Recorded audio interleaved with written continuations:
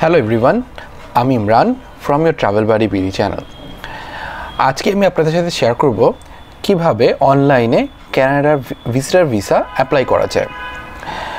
আপনারা যদি আমাদের আগের ভিডিওটি দেখে থাকেন, যেখানে আমরা কানাডা ভিসা অ্যাপ্লাই করতে কী কী ডকুমেন্টস লাগে ওটা শেয়ার করেছিলাম, তার ফলো আপে আজকে ভিডিওটি তো ভিডিও শুরু করার আগে একটু বলে নিচ্ছি, যদি আপনারা আপনাদের আজকে চ্যানেলে নতুন হয়ে থাকেন তাহলে আমাদের চ্যানেলটি সাবস্ক্রাইব করুন। আমরা চলুন তাহলে ভিডিওটা স্টার্ট করি। ভিডিওর প্রথমে আপনাদেরকে বলে নিচ্ছি যে ভিডিওতে ক্যানাডার ইমিগ্রেশনের জন্য যেখানে অ্যাপ্লাই করতে হয়, সেটা হচ্ছে আইআরসিসি থ্রুতে আইআরসিসি আপনাকে একটি অ্যাকাউন্ট ওপেন করতে বলবে। এই অ্যাকাউন্টটি হচ্ছে জিসি কি অ্যাকাউন্ট এখানে একটা অ্যাকাউন্ট ওপেন করতে হয়। চলুন তাহলে আমরা অ্যাকাউন্টটাকে ওপেন করে এবং কীভাবে অ্যাপ্লিকেশনটা সাবমিট করে, আমরা সে পর্যন্ত স্টেপ বাই স্টেপ যাই। স্টেপগুলো কিন্তু প্রত্যেকটা কারেক্টলি ফলো করতে হবে, কারণ এক, যদি একটা কোনো অংশে ভুল হয়ে যায়, তাহলে আপনার অ্যাপ্লিকেশনটা বাতিল হয়ে যাবে, অথবা আপনার ভিসা ক্যান্সেল হয়ে যাবে। আমি আপনাকে যে ওয়েবসাইটটা এখন দেখাচ্ছি, সেটা হচ্ছে W W W dot Canada dot CA dot en service immigration citizenship এখানে ফার্স্ট আপনি যাবেন, এখানে গেলে আপনি দেখতে পাবেন? মোস্ট ইম্পর্টেন্ট রিকোয়েস্ট এখানে sign in R create an account to apply online আমরা এখানে যাব যে অনলাইন এখানে sign in with GC key sign with GC key partner আমাদের যেহেতু কোনো অ্যাকাউন্ট এখনও করা নেই, আমাদের, আমার অ্যাকাউন্ট করা আছে, কিন্তু আপনাদেরকে আমরা দেখাও কীভাবে অ্যাকাউন্ট করতে হয়, তাহলে রেজিস্টার দিতে হবে। এখানে দেখতে পাচ্ছেন register to IRCC secure account এই অ্যাকাউন্টটা অবশ্যই খুবই সিকিউর হবে। মাঝে মধ্যে কিন্তু আইআরসিসি অ্যাকাউন্টটা ডাউন থাকে। ঠিক আছে? এখানে দেখতে পাচ্ছেন যে as number two number eight two nine you cannot use choice rewards master card to sign in দেখতে পাচ্ছেন তো, এখানে মাঝে মধ্যেই ওরা ওদের ওখানে সিস্টেমটা চেঞ্জ করে। কখনো মাস্টার কার্ড মানে ইউজটা বাদ দিয়ে দেয়, কখনো দেখবেন যে সিস্টেম ডাউন আছে, বলে দিবে যে আপনার সামনে সামনে একদিনের জন্য সিস্টেম ডাউন থাকবে, আপনি তখন অ্যাপ্লাই করতে পারবেন না।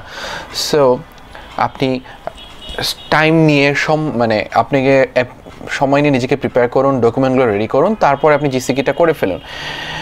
আপনি তাড়াহুড়ো করে কাজটি করবেন না। এখানে রেজিস্টার উইথ জিসিকি এখানে রেজিস্টার উইথ জিসিকিতে ক্লিক করলাম। রেজিস্টার উইথ আইআরসিসি সিকিউর অ্যাকাউন্টে প্রথমেই আপনাকে এখানে ডান পাশে দেখবেন সাইন আপ আসতেছে। সিম্পল সিকিউর অ্যাক্সেস সাইন আপে আপনাকে কিছু টার্মস অ্যান্ড কন্ডিশন দিবে।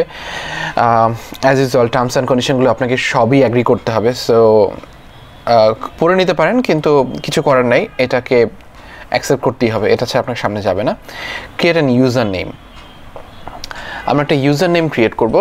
এই ইউজার নেমটা হবে এখানে দেখেন আপনার ডান পাশে একটা ডিটেলস দেওয়া আছে। কি হতে হবে? আট থেকে ষোলো ক্যারেক্টারের মধ্যে হতে হবে। নো স্পেশাল ক্যারেক্টার থাকতে পারে এবং no more than seven digits তো আপনি অনেকগুলো ডিজিট যেন ফোন নাম্বারের সাথে ডিজিট দিয়ে দেবেন, তা হবে না। আপনার নাম শুধুমাত্র ধরেন, আপনার নাম কলি, আপনি লিখে দেন কিও, কে ও এল আই, তাও হবে না, ঠিক আছে? এখানে যথেষ্ট বড় একটা নাম যোগ করতে হবে। ধরুন, আমার নাম আছে এখানে ইমরান, আমি ইমরান দিলাম, সাথে আর একটু বড় একটা নাম্বারের সাথে দিতে হবে। দেখেন এখনও আট থেকে ষোলো একটা হয় নাই। ওইখানে সেভেন ডিজিট হয় নাই। সো আট ক্যারেক্টার বানানোর জন্য আমি জিরো জিরো সেভেন দিলাম। ঠিক আছে? এখানে দেখেন তিনটাই ক্লিক পড়েছে, ইমরান জিরো জিরো সেভেন যদি ওটাতে অকুপাইড থাকে, তাহলে আমাকে কিন্তু সেই অ্যাকাউন্টটা আর নিবে না। যে এই নাম যদি ইউজার নেম আগেই থাকে, এই যে অলরেডি সিলেক্টেড দেখতে পাচ্ছেন? অলরেডি সিলেক্টেড হয়ে আছে। তো আমি আর এটাতে দিলাম না। আমি করলাম কি? যে আমি জিরো জিরো আর একটা মানে আপনাদের যেটা কনভিনিয়েন্ট মনে হয়, এরকম একটা সন দিয়ে দেবেন। আমি যেমন আমার টু থাউজেন্ড সিক্সটিনটা আমার কাছে খুব স্মরণীয় একটা বছর, তা আমি ইমরান টু থাউজেন্ড সিক্সটিন দিয়ে দিলাম। দেখি ইমরান টু থাউজেন্ড সিক্সটিনটা কি অকুপাইড কিনা। ইয়েস এটা অকুপাইড দেখতে পাচ্ছেন যে ইউজার নাম সিলেকশনে কতখানি একটা ঝামেলার একটা খুবই আনইউজুয়াল নাম্বার আমি প্রেস করতেছি জিরো জিরো ওয়ান থ্রি ঠিক আছে? এটা খুবই আনইউজুয়াল মানুষ এটা দিতে চায় না। থার্টিন খুবই আনলেকি নাম্বার আমার জন্য হয়ে গেছে। এখন পাসওয়ার্ড পাসওয়ার্ডের ক্ষেত্রে, দেখেন পাসওয়ার্ডের ক্ষেত্রে বলা আছে এখানে আট থেকে ষোলোটা ক্যারেক্টার হতে হবে। Doesn't contain three consecutive characters from user name মানে আপনি ইউজার নেম থেকে এসে এখানে বসাই দেবেন, তাও হবে না। আর ভ্যালিড ক্যারেক্টার হতে হবে আপার কেস লোয়ার কেস থাকতে হবে। ডিজিট থাকতে হবে পাসওয়ার্ড ম্যাচ করতে হবে। সো সবগুলো যখন আপনার রিকমেন্ড ফিল আপ করবে, প্রতিটা একটা গ্রিন টিক মার্ক আসতে থাকবে। সো আমি একটা আমার মতো করে একটা পাসওয়ার্ড দিয়ে যাচ্ছি। আপনারা আপনাদের মধ্যে পাসওয়ার্ড দিবেন এবং খেয়াল রাখবেন, অবশ্যই সেটা অ্যাটলিস্ট নাইন টু টেন হয় তাহলে এটা সিকিউর হবে।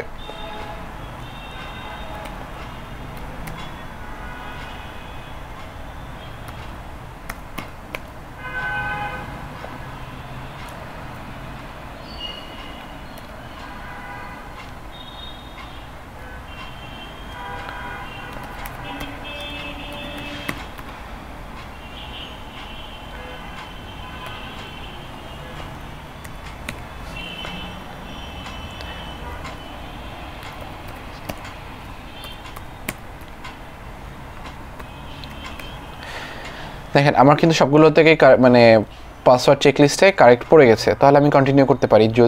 যদি সব কিছু ম্যাচ করে থাকে অটোমেটিক্যালি ডান পাশে দেখিয়ে দিচ্ছে যে হ্যাঁ এখন create recovery questions answer hints এই এই জায়গাগুলো একটু ট্রিকি কারণ আপনি মাঝে পাসওয়ার্ড ভুলে গেলে আপনাকে এই রিকভারি কোয়েশ্চেনে ব্যাক করে আসতে হবে। যদি রিকভারি কোয়েশ্চেন আপনি অ্যান্সার করতে না পারেন, আপনাকে ওটা কিন্তু ডিলিট করে দেবে। এবং একে একই কম্পিউটার থেকে একই জায়গা থেকে বারবার অ্যাকাউন্ট ক্রিয়েট করাটা একটা সাসপিশিয়াস সাসপিশন ক্রিয়েট করতে পারে। তাই চেষ্টা করবেন যে একবারেই যেন অ্যাকাউন্টটা করে ফেলতে পারেন এবং কোনো ঝামেলা মধ্যে না যান। এখন আর এক কোয়েশ্চেনগুলো খুবই ইজি হওয়া উচিত। এই যে আপনি এখানে দেখেন, অনেক, অনেকগুলো কোয়েশ্চেন আছে। ধরেন আমি এখানে what did you go to your honeymoon ঠিক আছে? আমি হানিমুনে এখানে লিখে দিচ্ছি যে আমি কক্সবাজার গিয়েছিলাম। যদি আমার মনে থাকে, এটা খুবই যেটা আপনি পরবর্তী মনে করতে পারবেন। মেমোরেবল পার্সনের মধ্যে মাই মেমোরেবল পার্সন এখানে আমি একজন আমি আমার টিচারের কথা বলতে পারি, যে আমার খুবই মেমোরেবল পার্সন ছিল। আমি তার নাম দিচ্ছি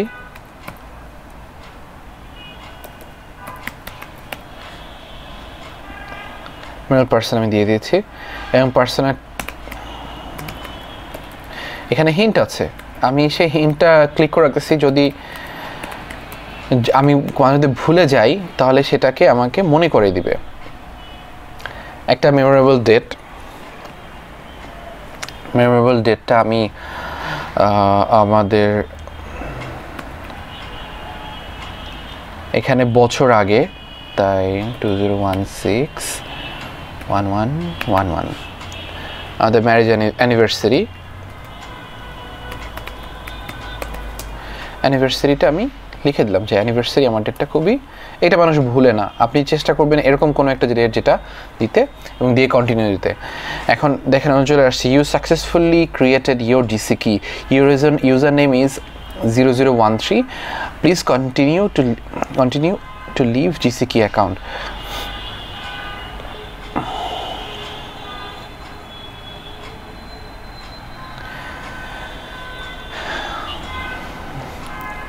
এখন দেখেন, এখানে আমাদের টার্মস অ্যান্ড নতুন টার্মস অ্যান্ড কন্ডিশন আসছে। আপনি যখন অ্যাকাউন্ট ক্রিয়েট করে ফেলবেন, তখন আবার নতুন করে টার্মস অ্যান্ড কন্ডিশন দিবে। সো এই টার্মস অ্যান্ড কন্ডিশনের পুরোটাই আপনাকে অ্যাকসেপ্ট করতে হবে, নাহলে আপনাকে অ্যাপ্লিকেশানই সাবমিট করতে দেবে না। এখন ক্রিয়েট অ্যান অ্যাকাউন্টের মধ্যে, আপনার কিন্তু অ্যাকাউন্ট এখনও পুরোপুরি ক্রিয়েট হয়নি, এবং অ্যাকাউন্ট ক্রিয়েটের পরে আবার অ্যাপ্লিকেশান কীভাবে সাবমিট করবেন, তারও কিছু টেকনিক আছে। আমরা পুরোটাই এখানে ভিডিওতে কন্টিনিউ করব। ক্রিয়েট অ্যান অ্যাকাউন্ট এখানে গিভেন নেম গিভেন নেম ধরেন আপনার, আমাদের গিভেন নেম হয়েছে সায়েদ। লাস্ট নেম হয়েছে ইমরান, দিয়ে দিলাম। আর Imran dot Siam dot two zero seven at Gmail dot com আমি একটা ইমেল আইডি দিয়ে দিলাম। এখানে প্রিফার্ড ল্যাঙ্গুয়েজ আপনি অবশ্যই চেষ্টা করবেন ইংরেজিতে, কারণ ফ্রেঞ্চ যারা খুব ভালো জানেন, তারা ফ্রেঞ্চ ও বাইরে থেকে অ্যাপ্লাই করতে পারেন। বাংলাদেশ থেকে অ্যাপ্লাই করা খুব একটা জরুরি না। আর আমি যে বাংলায় কথা বলতেছি, আমি, আমার জানা মতে সবাই মোটামুটি ফ্রেঞ্চই ভালো জানে। আচ্ছা সিকিউরিটি কোয়েশ্চেন কিন্তু আমরা একবার পাস করে এসেছি। এখানে আবার second time security question face করতে হবে। এই কোয়েশ্চেনগুলো আপনি নিজে দিবেন অ্যান্সারও আপনি নিজে তৈরি করবেন। দেখেন you will to answer one of your security question each time to access your account you will have to tries to answer a question যদি আপনি এই দুইবারে যদি সিকিউরিটি কোয়েশ্চেনটা ভুল করেন, তাহলে আপনার কিন্তু ব্লক হয়ে যাবে অ্যাকাউন্ট তাই চেষ্টা করবেন সিকিউরিটি কোয়েশ্চেনটা খুবই ইজি কোয়েশ্চেন দিতে। যেমন আমি আগের যে সিকিউরিটি কোয়েশন পেয়েছিলাম, আমি সেটাই সেটাই দিয়ে দেবো। কোনো এখানে কোনো ঝামেলা করব না। আচ্ছা আমি ইম্পর্টেন্ট বার্থডেট একটা দিয়ে রাখি। ইম্পর্টেন্ট বার্থডেটের মধ্যে আমি two one nine ten two eight একটা বার্থডে দিয়ে দিলাম। আমার হানিমুন প্লেস হানিমুন প্লেস যেটা আছে, এটা হচ্ছে কক্সবাজার। আমি আগের বার যদি ফিল আপ করেছিলাম, আপনি দেখতে পাচ্ছেন যে অলরেডি সেই সাজেশনগুলো চলে আসতেছে। আমার কোনো ফেভারিট পেট আছে কি না হ্যাঁ ফেভারিট পেট যদি হয়, সেটা আমি যদি একটা ডগ সর্বোচ্চ ই করব অ্যাফোর্ড করব। আর যদি বেস্ট ফ্রেন্ড আসে, আমি লিখে দিয়েছি একটা। এখন চারটা কোয়েশ্চেন ভালো করে চেক করে নিন। লাগলে এখানটা স্ক্রিনশট রাখুন, লাগলে নোট করে রাখুন, কারণ আপনাকে বারবার এই কোয়েশ্চেনগুলো প্রতিবার অ্যাক্সেসের সময় জিজ্ঞেস করবে। আপনি যে কবার অ্যাপ্লাই করেন, প্রতিবার এই কোয়েশ্চেনগুলো জিজ্ঞেস করবে, এই অ্যাকাউন্ট থেকে। এবং চেষ্টা করবেন আপনার জন্য একটা অ্যাকাউন্ট ক্রিয়েট করতে। কখনো মাল্টিপল অ্যাকাউন্ট না। মাল্টিপল অ্যাকাউন্ট ক্রিয়েট করলেই ওরা ধরে ফেলবে আপনাদেরকে। এখন, দেখেন একটা পোর্টাল হয়েছে আপনার জন্য মানে আপনার একটা হোম স্ক্রিন এসেছে। এখানে প্রথম হচ্ছে যে কন্টি প্রথম view the application you submitted or continue an application you haven't submitted মানে প্রথমে আপনি দেখতে পাবেন যে অ্যাপ্লিকেশনগুলো আপনি অলরেডি সাবমিট করে ফেলছেন, সেগুলো কী অবস্থা? যদি আপনি আগে থেকে কোনো অ্যাপ্লিকেশন সাবমিট করে থাকেন, সেটা এখানে লিঙ্ক করতে পারবেন, সেই অ্যাপ্লিকেশান রেজাল্ট কী সেটা এখানে দেখাবে। অথবা আপনি একটা অ্যাপ্লিকেশন সাবমিট করেছিলেন, সেটা ফেল হয়ে গেল, সেটা এখানে অটোমেটিক চলে আসবে। আপনি সেকেন্ড টাইম যখন আবার একটা নতুন অ্যাপ্লিকেশন করতে যাবেন, তখন নিচে আসবে সেটা, যেটা আন মানে এখনও কমপ্লিট হয়নি, সেটা নিচে আসবে এবং কয়েকদিন একটা অ্যাপ্লিকেশন শুরু করলে সিক্সটি ডেজের মধ্যে কমপ্লিট করতে হয়। যদি আপনি অ্যাপ্লিকেশন কমপ্লিট না করেন, ওটা অটোমেটিকলি ডিলিট হয়ে যাবে অ্যাপ্লিকেশনটা তো এখানে যদি অ্যাপ্লিকেশান পুরনো অ্যাপ্লিকেশন লিঙ্ক করতে চান add link your application to your account কারণ আপনি যদি যতবার অ্যাপ্লাই করবেন, আপনার রেকর্ড কিন্তু অলরেডি তাদের ডাটা পেজে আছে। আপনি যদি সে অস্বীকার করেন, তাহলে তো ওরা ইজিলি ধরে ফেলতে পারবে। তাই বেটার হয়েছে আপনি অ্যাকাউন্ট লিঙ্ক করে ফেলেন। তবে যারা হার্ড কপিতে অ্যাপ্লাই করেছেন, তাদের অ্যাকাউন্টটা লিঙ্ক করা এখানে জরুরি না। আপনি যদি অনলাইনে অন্য কোনো অ্যাকাউন্ট থেকে লিঙ্ক মানে অ্যাপ্লাই করে থাকেন, সেটা লিঙ্ক করবে এখানে লিঙ্ক করবেন। এখন স্টার্ট অ্যান অ্যাপ্লিকেশনের মধ্যে apply to come to Canada এখন যেহেতু আমরা আজকে আলাপ করব শুধু ভিজিটার ভিসা নিয়ে, তো আমরা ভিজিটার ভিসার স্টেপগুলো দেখব। তো যদি এখন প্রথমবার অ্যাপ্লাই করে থাকলে, এখানে দেখেন, আপনার পার্সোনাল রেফারেন্স কোড আছে কি না এক যদি আগেই অ্যাপ্লাই করে থাকেন, আপনার এক্সপ্রেস এন্ট্রি যদি কোনো নাম্বার থাকে এক্সপ্রেস এন্ট্রি সম্বন্ধ থাকে যাদের হয়েছে যে ইমিগ্রেশন জন্য অ্যাপ্লাই করতে থাকেন, আপনার ভিজিটার ভিসা অ্যাপ্লাই করতেছেন, আপনার কোনো এক্সপ্রেস এন্ট্রির কোনো নাম্বার থাকবে না পার্সোনাল রেফারেন্স কোড থাকবে না সো আপনি নিচে নিচে নামবেন এখানে এখানে দেখেন determining eligibility apply visitor visa study or work permit আপনার যেহেতু কোনো নাই এক্সপ্রেস এন্ট্রি তা এটা চয়েস করবেন।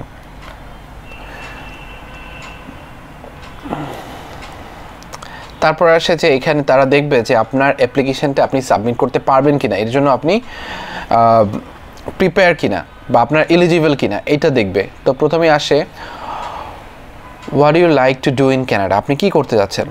যেহেতু আমি শুধু ভিজিট আছে ভিজিটার ভিসা এখানে কিন্তু আরও অপশন আছে, দেখতে পাচ্ছেন। এখানে study visit move there work transit only less than forty hours আমি ভিজিট দিব how long you're planning to stay এখানে ক্যাটাগরি আছে, ছয় মাসে বেশি, ছয় মাসে কম।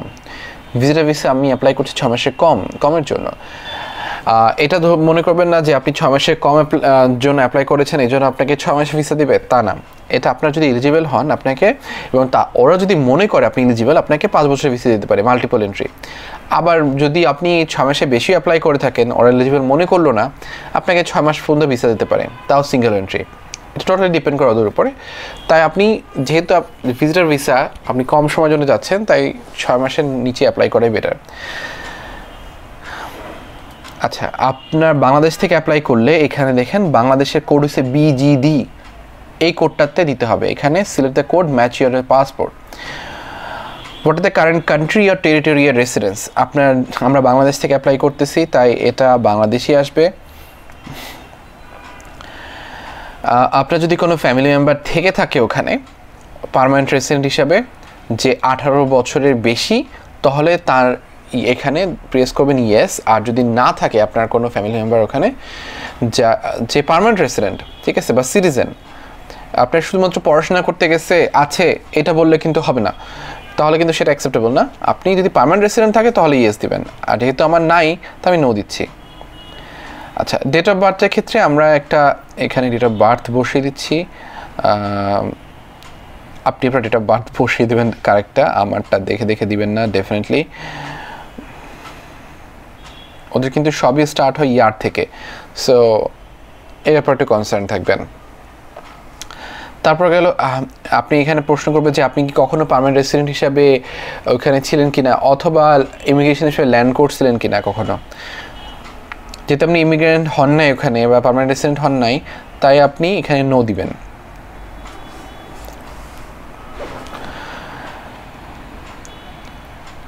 আবারও জিজ্ঞেস করবে যে আপনি ইউএস এর সিটিজেন কিনা বা আপনার ইউএস সিআই সিআইএস নাম্বার আছে কিনা?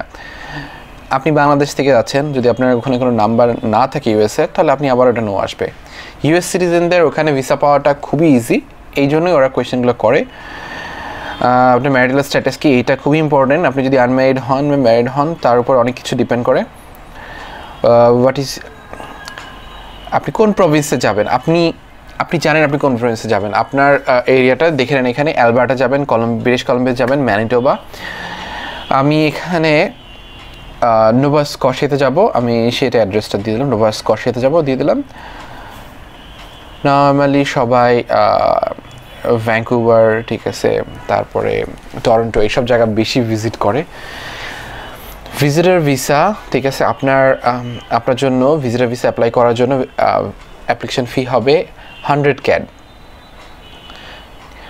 তারপরে এটা আপনার যদি it permits travel to Canada by air bus train R boat and is varied up to ten years processing টাইমটা ভ্যারি করে, এটা thirteen to fifteen working days লাগে। ওদের প্রেশারের উপর ডিপেন্ড করে। এখন ওয়ার্কিং ডেজ বলতে কিন্তু ওদের মাঝখানে মাত্র পাঁচ দিন থাকে সপ্তাহে। এটা হচ্ছে মানডে টু ফ্রাইডে এই, এটা সব, তো হিসাব করেন, প্রতি সপ্তাহে পাঁচটা ওয়ার্কিং ডে আপনার তাহলে মানে তেরো দিন, তেরোটা ওয়ার্কিং ডের জন্য তিনটা সপ্তাহ লাগবে। সো আপনি পেশেন্স নিয়ে অ্যাপ্লাই করবেন। আমরা কন্টিনিউ দিলাম। তারপরে আরও কিছু কোয়েশ্চেন আছে।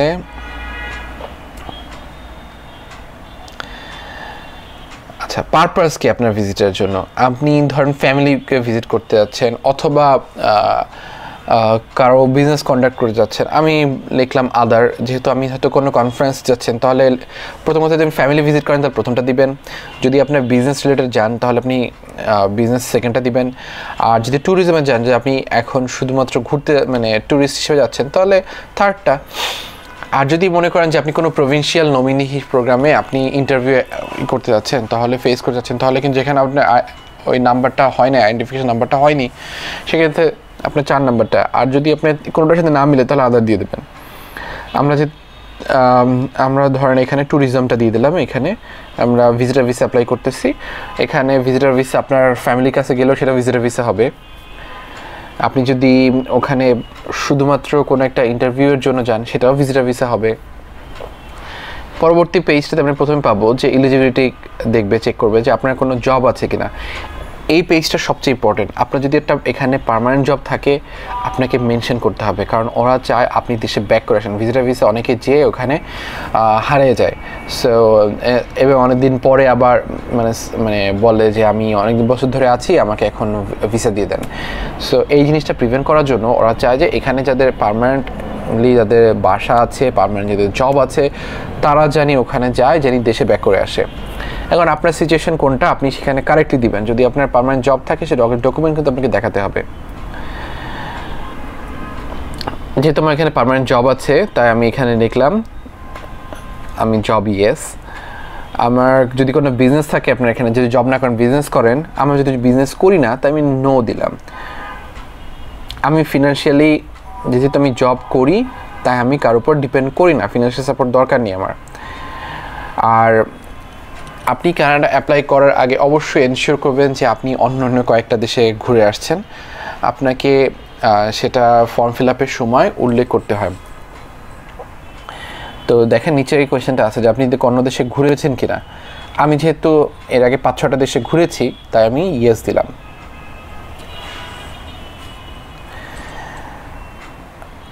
আচ্ছা আপনার সাথে কি আপনার ফ্যামিলি মেম্বার যাবে কি যাবে না?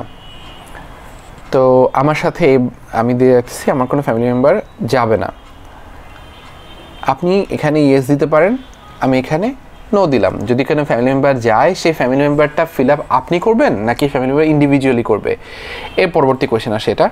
এখন কারণ হচ্ছে যে নর্মালি একজন হয়ে অ্যাপ্লাইটা করে দিতে পারে অন্যের সবারটা, অথবা আপনাকে সবার অ্যাকাউন্ট করে করে আপনি অ্যাপ্লাই করতে পারেন। এবং আপনি মেনশন করবেন যে আমি ওই ফ্যামিলি মেম্বারের সাথে একসাথে যাচ্ছি।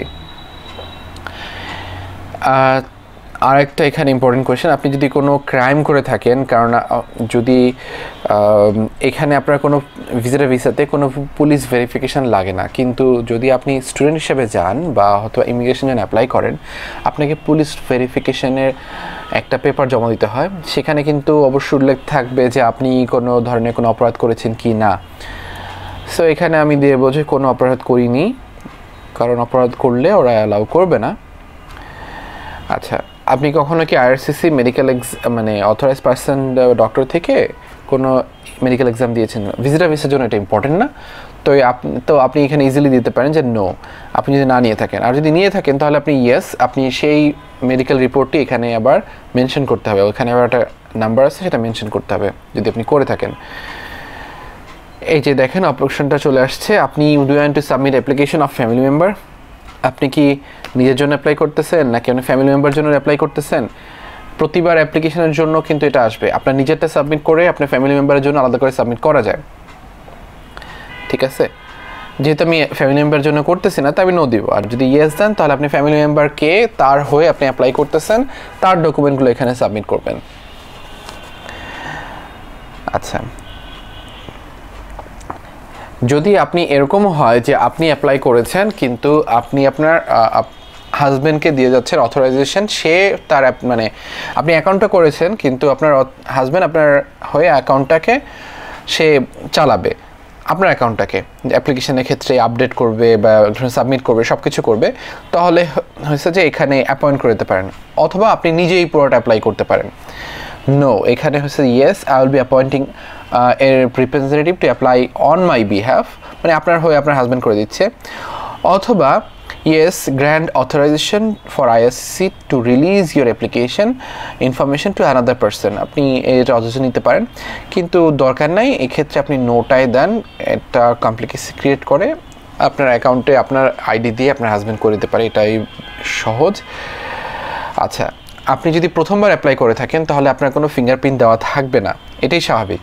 যেহেতু আমি অ্যাপ্লাই করেছিলাম আগে, আমার ফিঙ্গারপ্রিন্ট দেওয়া আছে, কিন্তু আমি এখানে নতুন অ্যাপ্লিকেশান স্টার্ট করেছি, তাই আমি দিব নো যখনই আপনি নো দিবেন, তখন আপনাকে একটা have you given fingerprint photo biometrics application to come to Canada no আচ্ছা। আমি দেই নাই সো যদি আমি এখানে নতুন অ্যাপ্লিকেশনের ক্ষেত্রে আমি ফিঙ্গারপ্রিন্ট দিয়ে নাই। যদি ফিঙ্গারপ্রিন্ট গত দশ বছর দিয়ে থাকেন, তাহলে অবশ্যই এখানে ইয়েস দিবেন। দেখেন, এখানে পরবর্তী প্রশ্নটা আসবে যে, এই অ্যাপ্লিকেশানে করার জন্য আপনি যে ফি আসবে, সেই ফিটা কি আপনি ফি দিবেন? আর আপনি, নাকি আপনাকে ফি এক্সাম করা হয়েছে? আপনাকে মকুফ করা হয়ে গেছে। না, আপনি এখানে অবশ্যই ফিটা পে করতেছেন। এক্সাম করলে আপনার সেখানে স্পেশাল রিকোয়েস্ট থাকে যে আমি ফি মানে ফি দিব না। কিন্তু সেই সেই আমার মনে হয় না যারা এখানে অ্যাপ্লাই করার জন্য ভিডিওটা দেখতেছেন, এমন কেউ আছে যারা ফি এক্সামটেড হয়ে আসছেন। কারণ তারা অনেকগুলো স্টেপ অলরেডি পার করে আসছেন। আচ্ছা। আপনি কি ডিজিটাল কপিটা সাবমিট করতে পারবেন? ডিজিটাল কপি সাবমিট করার জন্য কিন্তু এখন স্ক্যানার লাগে না, এটা খুব জরুরি কিছু না। আপনি মোবাইল ক্যামেরা দিয়ে ওই ডকুমেন্টের ছবি তুলেও আপলোড করে দিতে পারেন। খুবই ইজি হয়ে গেছে। একটা cam scanner apply application download করবেন, ওটা দিয়ে ইজিলি স্ক্যান করে আপনি অ্যাপ্লিকেশান আপলোড করে দিতে পারবেন। খুবই সহজ। সো ওরা জিজ্ঞেস করতেছে, আপনার কাছে স্ক্যানার আছে? ওরাটা নাকি ক্যামেরা আছে? যে কোনো একটা থাকলেই হবে। ইয়েস আমার কাছে আছে। আচ্ছা এখানে অনলাইন অ্যাপ্লিকেশন সাবমিটের জন্য এটা ক্রেডিট কার্ডে ট্রান্সফার করতে হয়।